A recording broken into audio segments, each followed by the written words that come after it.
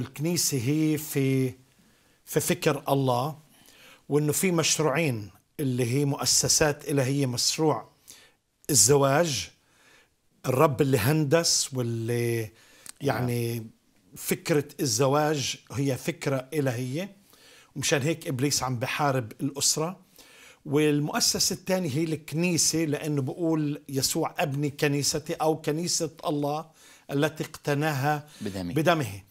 وبعدين شاركت عن الفكر الصحيح يعني إيه الفكرة الصحيحة لموضوع ال- الكنيسة؟ ولكن ما بعد الفكر الصحيح إيه اللي عاوز أوكي يعني هالكنيسة إيه اللي ممكن يعني تكون الخطوات العملية أو الأعمدة اللي بتساعدنا انه هذه هي الكنيسة اللي في فكر الله؟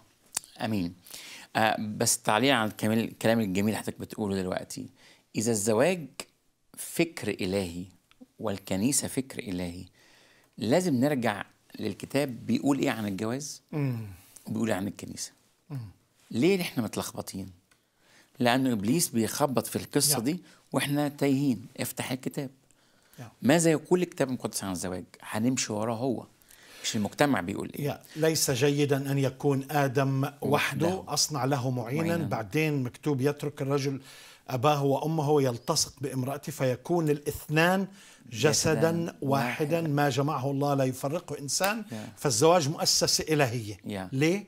لأنه غرض الله رجل امرأة بيلتصقوا بصيروا جسد واحد. واحد ليس رجل ورجل أو امرأة مع امرأة أو فكرة الزواج المتعدد يتزوج أكثر من زوجة هذا مرفوض رفضا كليا بحسب الكتاب المقدس فهذا يعتبر زنا. يا شوف انت قلت إيه؟ بحسب الكتاب المقدس. نعم. هو ده اللي إحنا عايزين نقف عنده ما هو لازم نقول الفكر الكتابي بغض النظر يعني الناس حبت أو لم تحب. طبعا طبعا.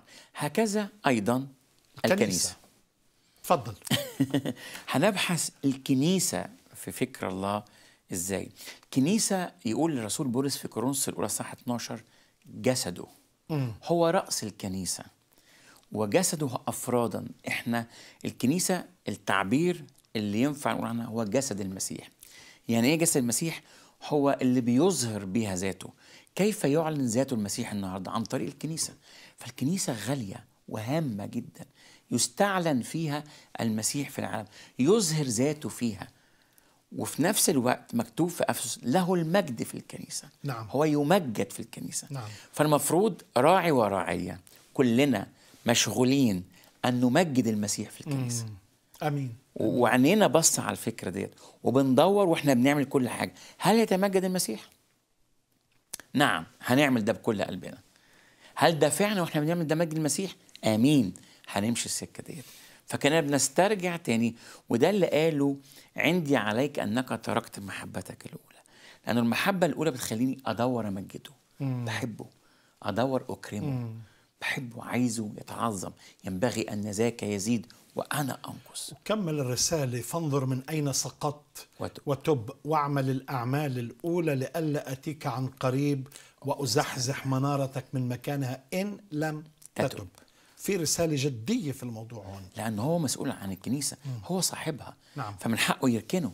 هوقف شهادتك. هزحزح منارتك. هوقف شهادتك.